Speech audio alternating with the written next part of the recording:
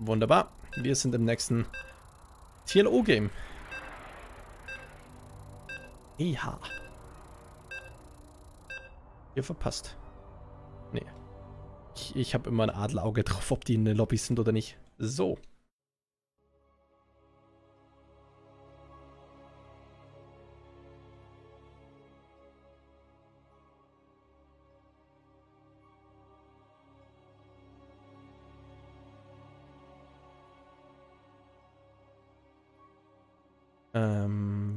Mein...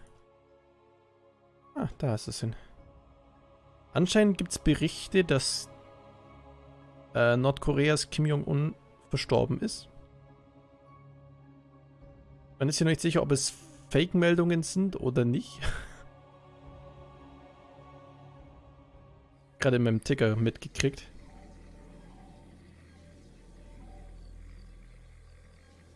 Okay, wir sind im Game. Orange und Rot, sehr schön.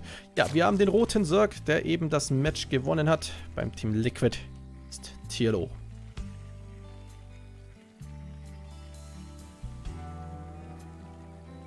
Und der spielt gegen den Protoss hier in Orange und das ist Fighting Frog. Aus Schweden, bei den Outlaws. Wie genau das Team von ihm heißt, weiß ich gerade gar nicht.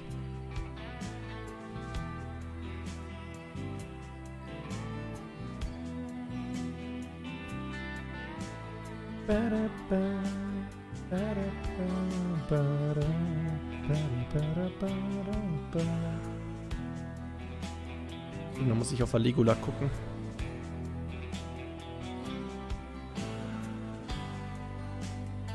Okay, da steht er noch als Makers, aber bei Makers ist überhaupt noch bei Makers ist doch gar kein Thema mehr, oder? Ah, I'm not sure. Ich bin mir nicht sicher. Auf jeden Fall PVZ, das heißt Hedge Gas Pool Speed Upgrade Hedge versus Gateway Expansion into Stargate. Stargate ist nicht garantiert, aber die Wahrscheinlichkeit ist durchaus gegeben. Lassen wir erstmal den Ovi fliegen. Weil wirklich PVZ ist am Anfang ein sehr ruhiges Matchup.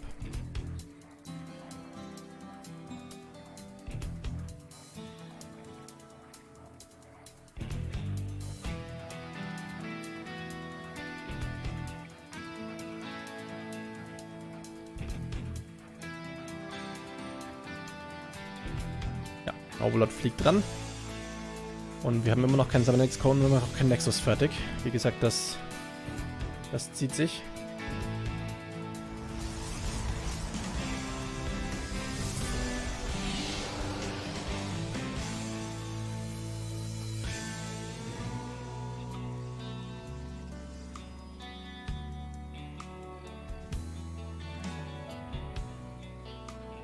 So, wir haben einen Stalker. Und wir haben die Robo. Wir haben keinen Stargate Opener. Robotics Facility als Tech-Gebäude. Overlord wird beschossen. Es wird für den Overlord... Doch, er sollte das schon überstehen. Aber er hat nicht mehr viele Points über.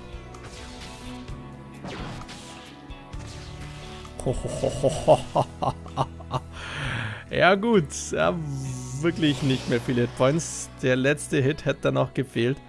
Dann wäre der Overlord gefallen. Das war noch knapper als erwartet.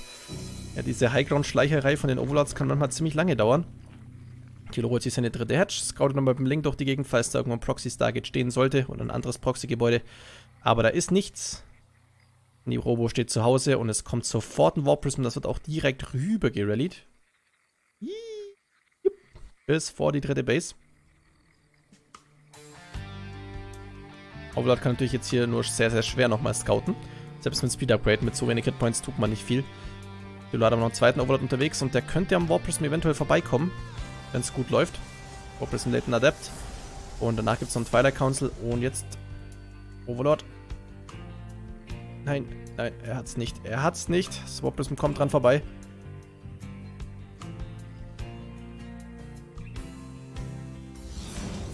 Und da kommt mehr Adepts reingeworbt. Tilo weiß momentan noch nicht so ganz von seinem Glück. Der links sieht das auch noch nicht. Also bisher, Fighting Frog kann das gut durchsneaken. Sein Adept Go. Tilo geht jetzt schon mal auf den Roach One und Leertech und Sporecrawler. Aber die Adepts stehen jetzt halt schon da. Die erste Queen nimmt Damage. Und noch ein Adept. Jetzt wird Wrestling Glaives nachträglich angedrückt, aber die Adepts sind halt schon da. Tilo muss die Defense organisieren und er hat da momentan Zerglinge unterwegs, die jetzt nicht die beste Defense gegen Adepts sind. Spockballer wird nichts. Shade kommt, rein geht's in die Mainbase. Das Hoppers ist jetzt natürlich nicht in der Nähe. Adepts können versuchen rauszuschaden, aber okay, nein. Recall einfach direkt. Ein Adept geht down, zwei Adepts gehen down. Der Rest wird gesaved. Hoppers lebt natürlich noch weiter vorne. Und die Adepts setzen sofort nach, wollen sofort wieder raus. Am Stalker vorbei. Stalker macht da freundlich jetzt die Lücke auf. Und ja, Resident Glaives ist unterwegs für Fighting Frog. Also er will sofort nachsetzen. Mit der nächsten an Depths hat natürlich das Wobbles nur noch. Das sorbt hier auch nochmal weiter rein. Tilo hat da eine Queen in der Nähe, aber nicht nah genug. Und hier die Linge weiterhin am Fighten gegen Adepts. Off-Creep allerdings mit gegen einige Adepts. Adepts shaden auch nochmal stellenweise weiter. Die Linge werden weniger. Hätten aber den Fight durchaus gewinnen können. Resident Glaives ist in wenigen Sekunden da. Und der nächste Warpin kann natürlich auch kommen. Also jetzt sind aber Roaches mit dabei. Können die Adepts dagegen genügend ausrichten. Resident Glaives Adepts finde sie immer ein bisschen, bisschen schwächlich. Resident Glaives, ich bin mit denen irgendwie nie so ganz zufrieden, was die an Damage machen. Aber Fighting Frog versucht's. Ja, wenn er die Hatch bekommt, der natürlich schon ein ziemlicher Luxus. Roaches waren nach hinten gesplittet, die Roaches vorne wird angegangen. Und die Adepts haben die Hälfte der Hitpoints schon vernichtet von der Hatch. Mehr und mehr Dinge werden dann noch rausgenommen. Mein Internet hat gerade überhaupt keinen Spaß. Ah, 22.30 Uhr, ja gut. Sollte jetzt dann besser werden, wenn weniger Leute im Internet sind. So, hier wird jetzt der Fight angegangen. Die Hedge ist halt fast down. Die Adepts aber kiten sich durch die Dinge. Durch die Adepts machen doch einen guten Job hier. Telos, der Fight sieht nicht so gut für ihn aus. Und die Adepts, ja, haben die Hedge immer noch am Leben gelassen. Die Roaches währenddessen am Fighten.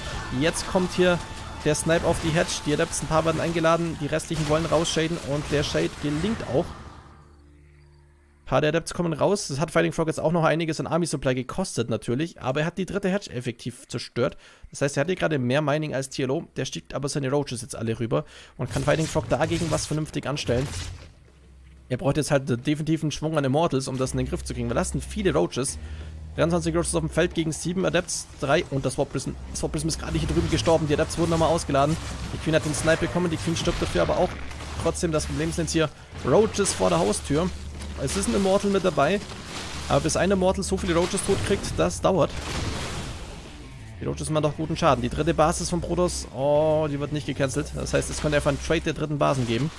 Die Roaches kiten jetzt hier, oder erspucken das Gebäude tot. Und der Nexus stirbt relativ schnell. Die Roaches müssen aufpassen. Können sie da nicht zu weit vorwagen, währenddessen die Adepts nochmal drin. In der Mainbase und killen da nochmal ganz Schwung an Drones tatsächlich. Den Tierlos Worker-Count ist gar nicht so hoch. Versucht jetzt mit den Roaches hier zu fighten. Der Mortal kitet nach hinten, Forces wird gesetzt, mehr Forces werden gesetzt. Die Roaches werden jetzt gut geschleust und Tierlo, der Fight sieht nicht so gut für ihn aus. Da macht Fighting Frog einen guten Job. Die Adepts wurden jetzt geklärt, haben aber nochmal sieben Drones mitgenommen. Tilo hat zwar die dritte bekommen, aber er ist economy-technisch trotzdem nicht in der besten Lage. Seine dritte wird nämlich auch gerade neu gebaut, also das sieht nicht so schlecht aus für Fighting Frog. Man sieht hier, das Mining ist ziemlich gut in der Zeit, wo er Harassed hat, weil der Worker Count natürlich auch ein ganzes Stück besser ist. Dritte Basis wurde jetzt entsprechend bei beiden neu gestellt und Tilo hat einen Spire in der Zeit gebaut. Ah, oh, die Roaches, die finden nochmal den Weg an den Nexus. Der kann dieses Mal gecancelt werden, aber die Protoss Army ist unterwegs. ESG Skorbut-Opfer, Hallöchen.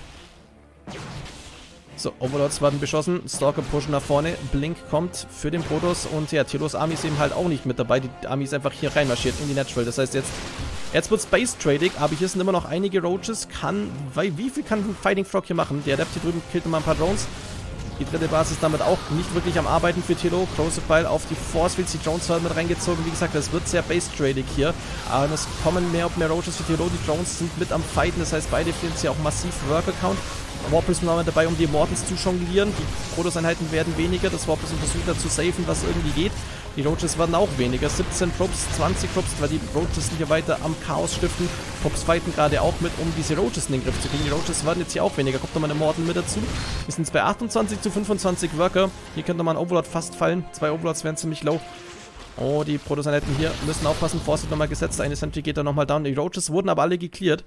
Und ja, die restlichen Protoss-Einheiten marschieren jetzt rüber, auch mit ein paar Probes. Einfach weil. Blink ist gleich drauf, aber es kommen ein paar Mutas, aber nicht wirklich viele. Drei Mutas sind jetzt nicht unbedingt eine, eine sonderlich gefährliche Anzahl. Und hier die, ja, Immortals haben genügend Stalk-Unterstützung mit ein paar Mutas fertig zu werden. Da starten schon mal die Overlords hier und sofort geht's weiter. Kann Tilo das irgendwie defenden? Drones werden sofort wieder gepult. versucht das jetzt hier irgendwie in den Griff zu kriegen. Muta kommt auch mit angeflogen. Drones sind mit drin. Muta ist da schon bei einer gestorben. Die nächste ist auch schon angeschlagen. Immortals hier, einer wird gesniped, der zweite wird gesniped. Die Immortals werden weniger, die Stalkers sind jetzt hier mal blink unterwegs. Und da kommt nochmal ein dritter Immortal vom Süden mit dazu. Die, der Muta will ans Warprism ran, die Stalker kiten weiter nach hinten. Es sterben nochmal Worker hier, die neun Drones und drei Probes. 22 zu 23 Worker hier nach 9 Minuten. Keine dabei, der hat wirklich mehr viel Economy übrig. Die Jones wird noch ein bisschen gekeitet von den Stalkern, die können gleich nochmal blinken. Das Warprism ist mega low, hat 18 Hitpoints noch die Stalker. Oh, da geht das Warprism auch an. Die Mutas haben den Kill bekommen, der Immortal stirbt ebenfalls. Und jetzt sieht das ziemlich schlecht aus für Fighting Frog, weil jetzt ist seine Army komplett gebrochen und Geld hat er halt auch nicht wirklich. Gut, Tilo hat auch nicht wirklich Drones, aber ja, Protoss ist auf einer einzigen Base. Den hat Shrivel jetzt gerade neu gebaut. 22 zu 23 Worker. Und die St oh, Stalker kriegen nochmal eine Queen. Link wird es noch genutzt, so gut es geht.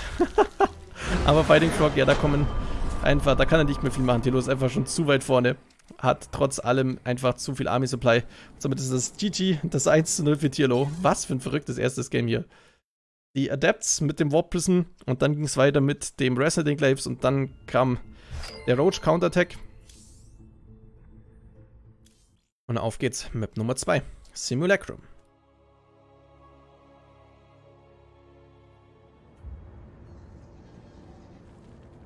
So, wir haben den Zerg mit 1-0 Führung. Es ist Liquid Tierlo.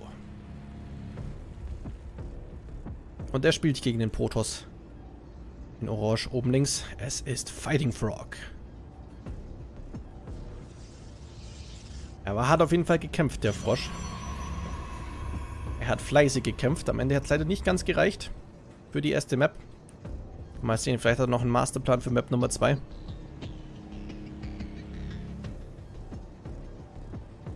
Auf jeden Fall kriegen wir jetzt erstmal übliche Opener. Das heißt, die ersten drei Minuten werden recht unspektakulär ablaufen, denn da gibt es keine frühen Pools, keine Forge, keine Proxy-Gebäude. Es wird alles... Es beginnt alles, wie es sich für ein ehrbares Makro-Game gehört.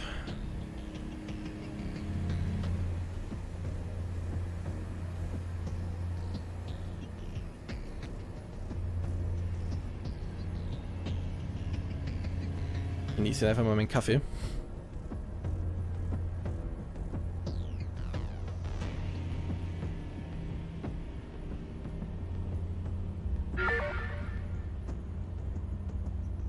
Ninzi gewudelt.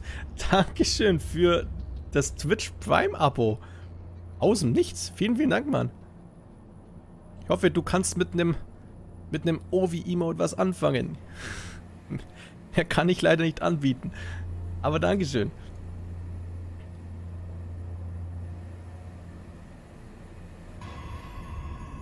Genau dieses OWI-Mode, was Chibra gerade schon vor sich hin spammt. Chibra beherrscht dich. Nein, sehr cool. Tatsächlich, mir gefällt das, das diese zweite Design-Variante gefällt mir viel besser als die erste, die ich ursprünglich hatte. Weil sich das Rot im Dark Mode so viel besser abhebt und der Overlord auch noch erkennbar ist, tatsächlich. Ich habe mal nicht ganz miserable Designarbeit geleistet. Halleluja. So, Overlord kommt in die Protoss Mainbase. Wir haben einen Adept unterwegs, wir haben Gateway Expansion. Und beim Sir Catch Gas Pool Speed Upgrade. Und die dritte Hatch kommt da ebenfalls. Da ist die Drone dafür. Yee, go, kleine Drone. Flump. Ah, hat noch kein Geld dafür. Da fehlen noch ein paar Minerals. Und immer noch. 150. Dom macht sich bereit. Sie ist ganz angespannt und... Nope. Wieder ein Sub mehr, bald gibt es Medivac Na, also wir sind jetzt bei, bei 5 Subs, glaube ich, und wir brauchen 15. Also wir bräuchten dreimal so viel. Atomi. Dankeschön, Snacks Twitch beim Abo. Grüß dich.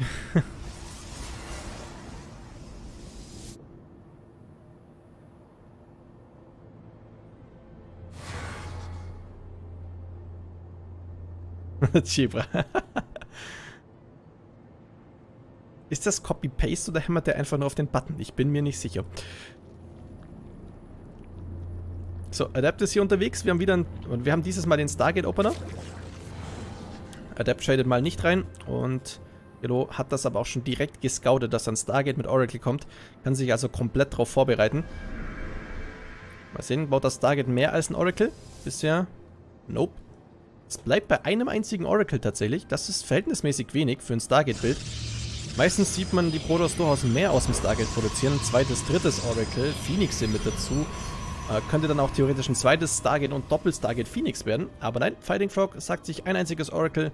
Er nutzt das auch gar nicht wirklich offensiv, sondern eher einfach als Scouting-Tool, weil es offensiv eh nicht so viel erreicht. Theodor hat nämlich Spore schon gebaut und die Queen die okay, es kommt ein verspätetes zweites Oracle.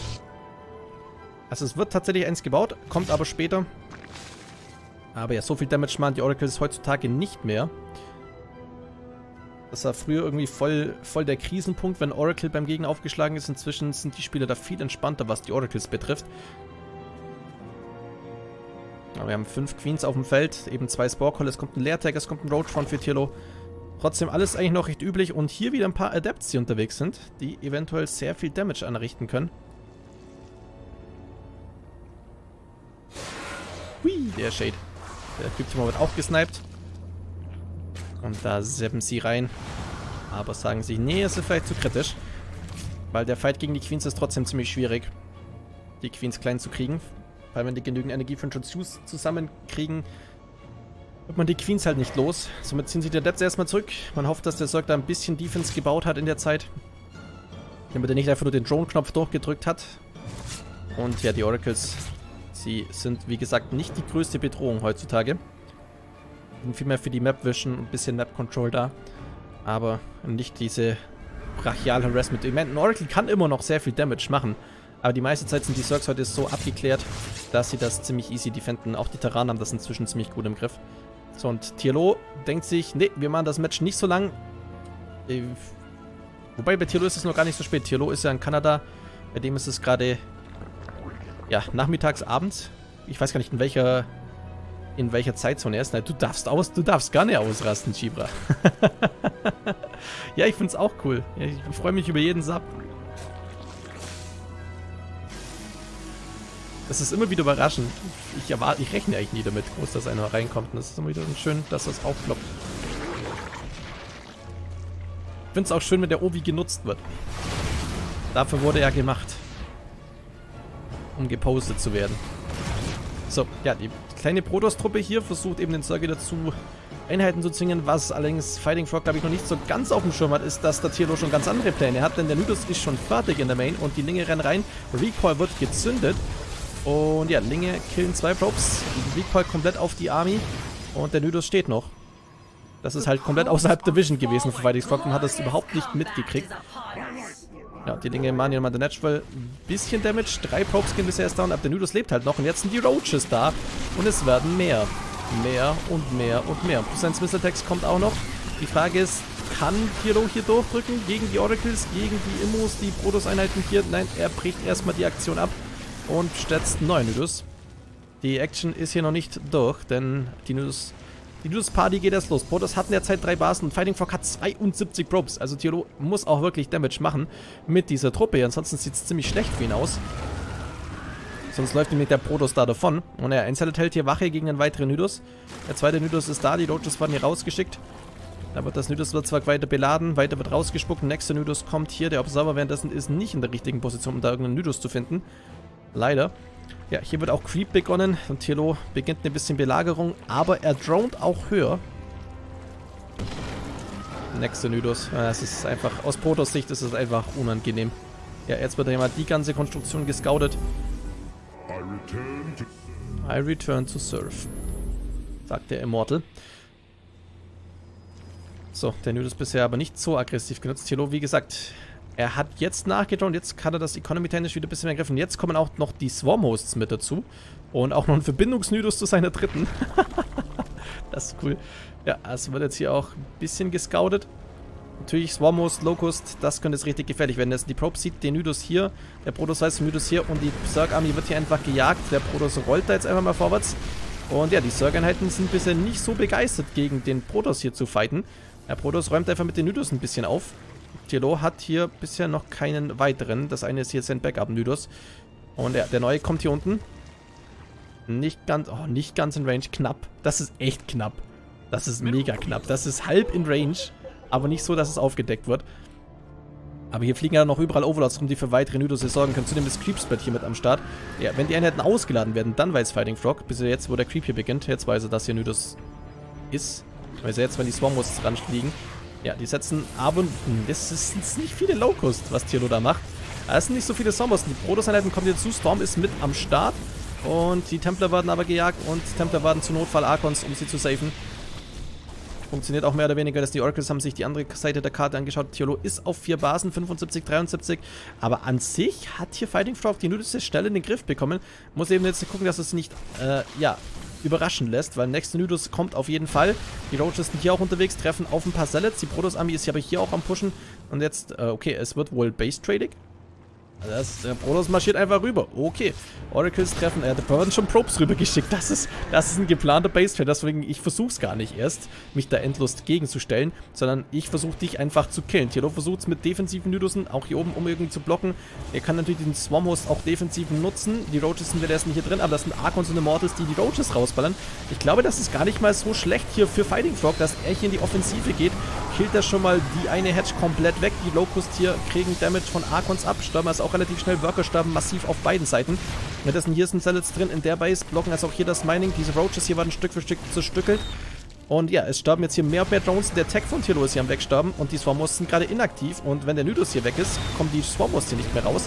Und das sieht alles ziemlich miserabel aus. Da kommt einfach direkt das GG. Fighting Frog lässt sich hier nicht verarschen, geht nach vorne und sagt sich, ich kill einfach den Zerg. Ich habe keinen Bock auf sowas. Gut gemacht von ihm. Damit Ausgleich und Tierlo da hat er sich wohl ein bisschen überschätzt mit seinem Nydus-Play. Und dafür prompt die Quittung kassiert.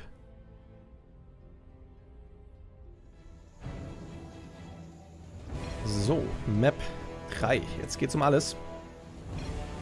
Beide kommen raus. Es gibt ja noch einen zweiten Qualifier, an dem man teilnehmen kann. Also man ist noch nicht ganz durch, wenn man hier verliert. Aber trotzdem wäre es natürlich schön, die Träume am Leben zu erhalten für die Qualifikation, auch wenn das kommende Teilnehmerfeld immer noch ziemlich heavy ist. Ja, wir haben immer den Zerg in Rot. Es ist Liquid. TLO. Und gegenüber der Protoss, der wirklich... Er hat einen gewissen Killer-Instinkt. Das muss man ihm lassen. Es ist Fighting Frog. Er hat nämlich auch schon der ersten Map versucht, einfach, ich gehe jetzt einfach rüber und kill den Zerg. Da hat es allerdings nicht ganz funktioniert. Und was hat... TLO. okay. Wir kriegen kein normales PVZ, sondern Tilo mit der Proxy Hedge unterwegs. Das, ja, an der Base hat man nämlich ein besonderes Gas. Ein reichhaltiges Spingeist hier. Erkennt man daran, dass es violett ist. Funktioniert quasi wie die reichhaltigen Minerals. Man fährt einmal rein und kriegt anstatt 5, äh, sind es 7 oder sind es 8 Gas? Ich glaube, es sind 7. Ja, man sieht auch, wird sofort genommen. Und damit kann quasi Tilo sein den Gasmining ein bisschen umpolen. Und das sieht dann für den Brothers durchaus ein bisschen verwirrend aus. Und da hier Fighting Frog eine ganze Weile nicht scouten wird, kann Tilo sich da entspannt auf diesen Plan besinnen. Ich meine, wir sehen es dann, ich kann's, wir können es dann gucken, sobald der erste Drone hier drin ist.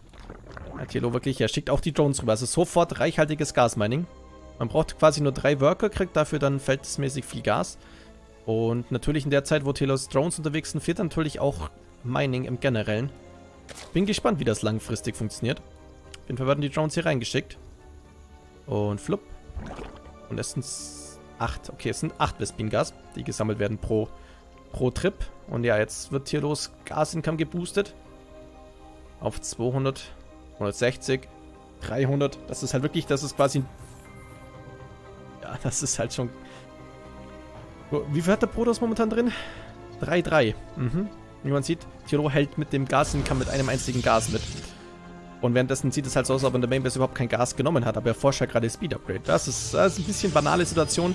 Und Tiro nutzt das Gas auch sofort für den Roach Warren. Er will da einen schnellen Attack draus machen. Das ist wahrscheinlich ein geplanter Ravager-Bild mit dem Zusatzgas, das er da sammelt. Ja, 19 Drones, er baut Roaches, danach kommt Ravager. Er will schnell den Protoss überrollen. Der geht gerade auf den Stargate. Und da ist auch die Queen mit unterwegs. Und ja, vom Protoss kommt keine Einheit rüber. Es wurde dieses Mal nicht mit einem Adept eröffnet, sondern mit einem Stalker. Und es kommt danach eine Sentry. Also wirklich, da ist nichts, was Fighting Frog machen kann, das zu scouten. Er weiß noch überhaupt nichts von dem, was ihm hier gleich erfahren wird. Ah, das, das, also Fighting Frog wird nicht so viel Spaß haben. Tilo hat mehr Spaß an dem Zeug. Hat natürlich auch die Overlords für die Vision. Und es geht los, die Queen hier marschiert auch rüber, es kommen Ravager, es wird gepumpt, es wird ein Creep Highway ein bisschen errichtet, damit einfach die Einheiten noch ein bisschen schneller darüber kommen. Und es wird einfach mit diesen 19 Drones gesammelt, was das Zeug hält. Und ja, jetzt weiß Fighting Frog, oh Gott, da kommen Ravager, da ja, geht's auf den Stalker und der Stalker ist auch schon down und da...